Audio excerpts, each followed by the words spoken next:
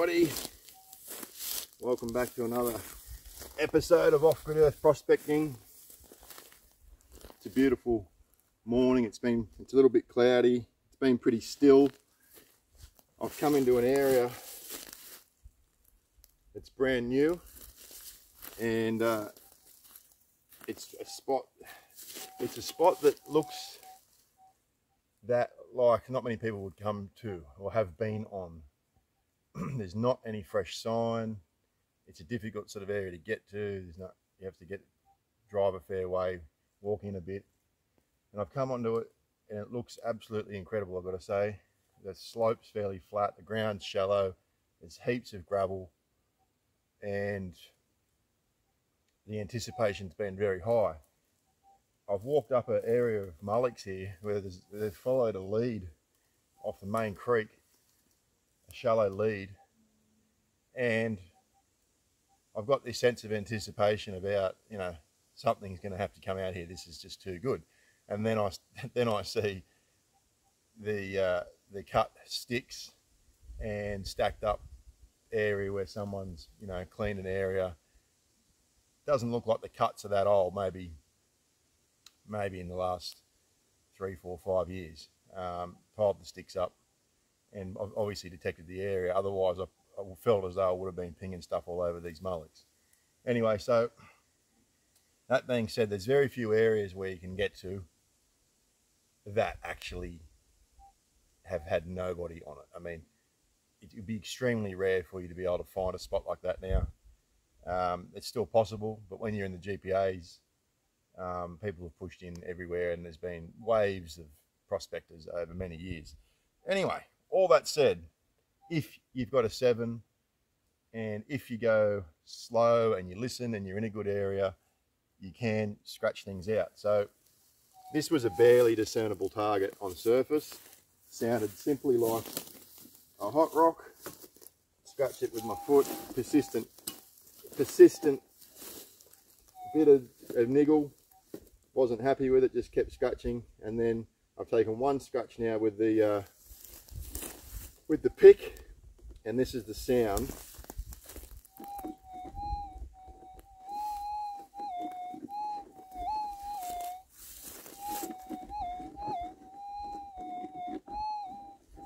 So you can hear that little flick there. And that to me sounds it sounds a bit more sounds to be a bit more than a hot rock. That sounds like it's opening up into a little target, so I thought we'd film this and see how we go. I'd love to just let you hear them from the top. You know, what it sounds like before we get to that point, because it's already a couple of inches off there and you can see how faint that target is. It's just that it's so hard to, you'd have to film everything to show you what it sounds like at the very start. One of these days we might get that. Anyway, let's uh, have a bit more scratch. See.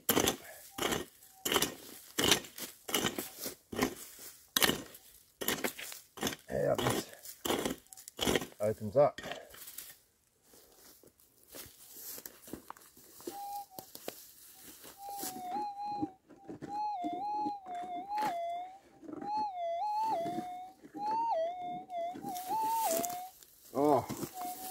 Sounds excellent. Sounds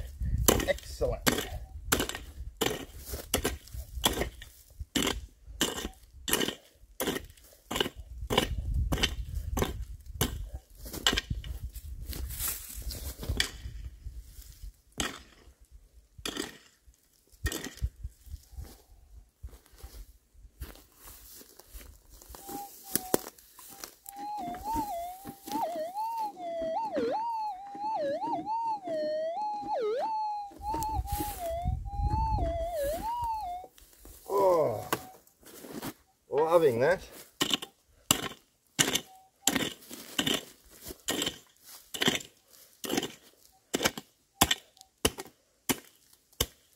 As prospectors, well personally, I just love this. I've been out here a number of weeks now and found a lot of gold. You keep longing for that, you know, that remote, deep target that you know is going to be gold. And this no doubt will be gold. How, how big it is, we'll find out. But, you know, I just love it. I just love coming out and finding a piece of treasure in the ground that no one's ever seen before. And having to use the skills that you've accrued over the years to be able to make it happen.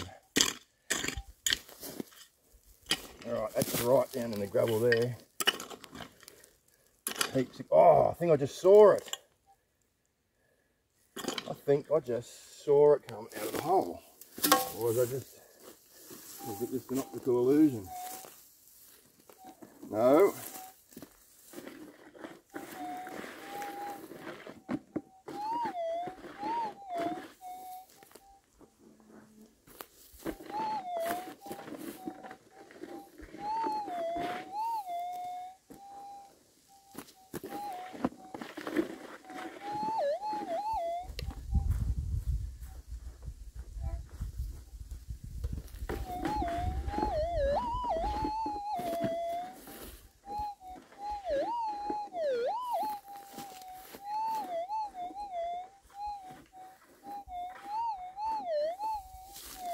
Okay, appears to be just here somewhere.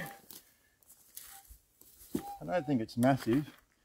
Again, testament, just a testament to the Z power. There we go. All right, sounds really nice.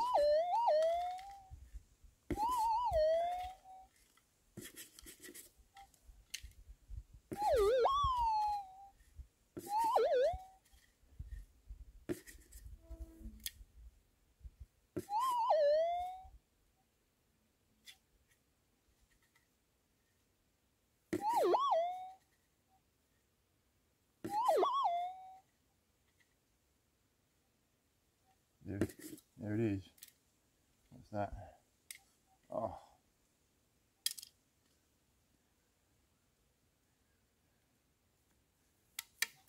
Beautiful little piece of gold. And that's probably, oh, well,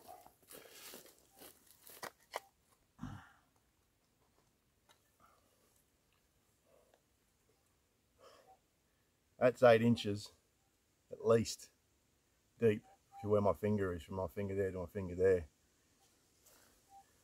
For this size piece of gold, takes a, it takes a machine as powerful as the Z and it takes the ability to hear it, takes a steel phase booster, takes all those things to pull that piece of gold out.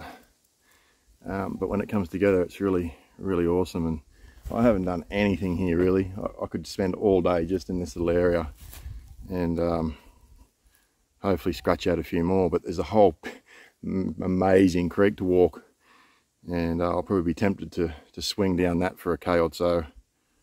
Um, let's see if we can uh, make sure we get our close up.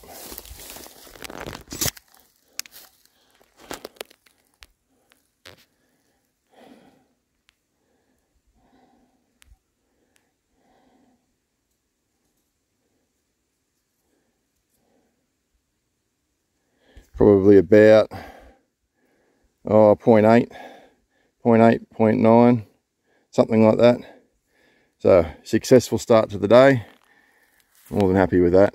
And uh, let's see what else we can get to pay up around here. Look at this uh, cutout on the outside of the bank here. So water comes around. It's just cutting this gravel bed out, but you can see the schist layer there. You know, the, the layer of uh, gravel and topsoil is only oh, pretty small, really. So it's pretty good shallow ground.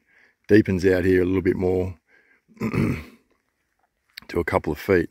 But then it's, you know, it's rocked, in, it's rocked down in this side here. So this uh, undulating sort of very shallow fall and just gravel sides, it, the anticipation's constantly high for uh, finding a nugget somewhere around here. And I think that's a detector hole. Mm, interesting. Okay, coming down the nice, uh, nice creek here, fairly remote. It's had people on it a long time ago, and I can see someone that's been here very recently, but it doesn't seem to be overly active. It's a fair way in on the GPAs. And, uh, but look at this, right here, someone's been here since the last rain, which was only not that long ago. Dug a hole, maybe got a bit of gold, who knows. Right here, like half a metre away. Look at that, look at that nice little bit. Beauty. Right there, so obviously someone's not been very thorough. That shouldn't have been my target.